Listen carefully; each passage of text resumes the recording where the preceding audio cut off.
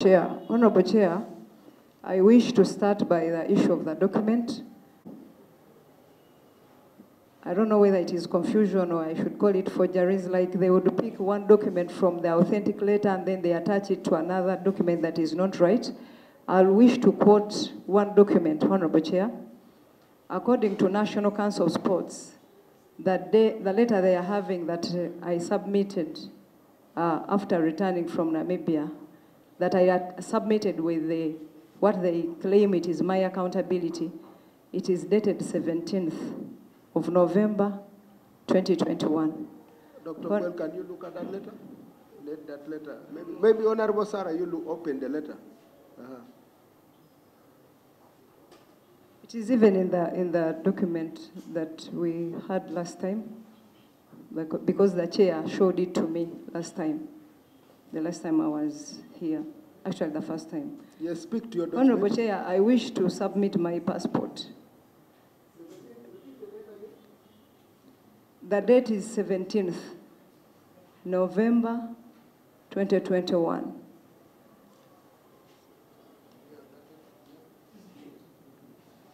And uh, Honorable Chair, proof that we returned from Namibia on the 18th.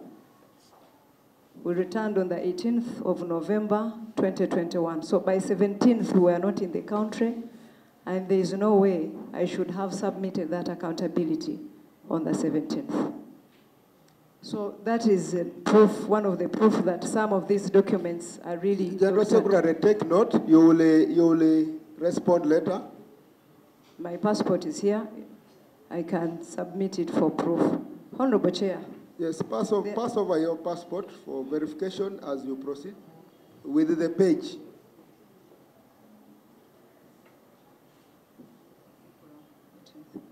Honorable Chair, there is a paper.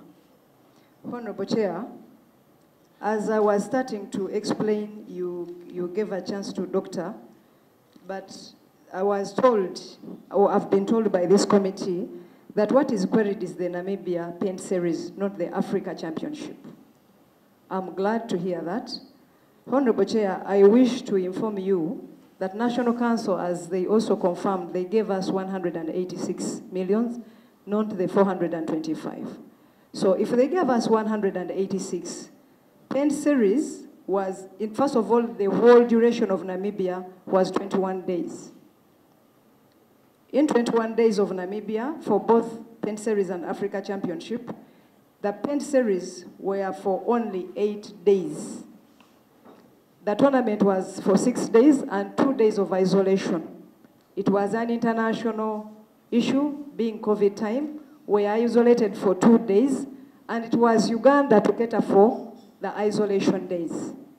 So, if we were in Namibia for 21 days, and the eight days were only for Pen Series, that means the rest of the days were the Africa Championship.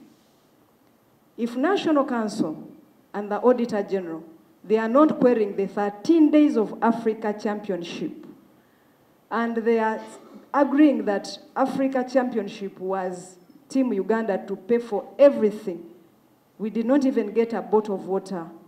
So how did the 130 million out of 186 millions come up? Because the 13 days of Africa Championship, according to this committee, they are not queried. And according to the Auditor General, he's only querying the eight days of the paint series. So I request this honorable committee to look into that.